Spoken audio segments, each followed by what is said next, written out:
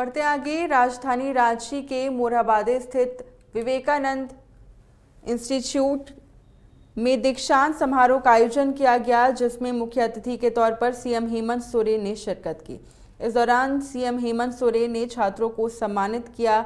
वहीं कार्यक्रम में शिरकत करने के बाद राज्य के मुख्यमंत्री ने सरना धर्म कोड को लेकर प्रधानमंत्री को पत्र भेजे जाने के संबंध में काफ़ी सहजता और सरल स्वभाव में कहा कि मांग है तो प्रयास जारी है।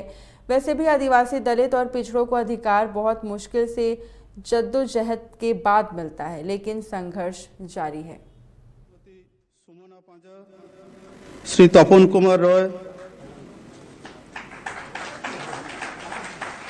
मांग है तो प्रयास जारी है। वैसे भी आदिवासी दलित पिछड़ों को अधिकार बहुत मुश्किल से ही मिलता है। बहुत जद्दोजहद करना पड़ता है। जी माइक पर ठीक सर ठीक ना? लेकिन संघर्ष जारी। है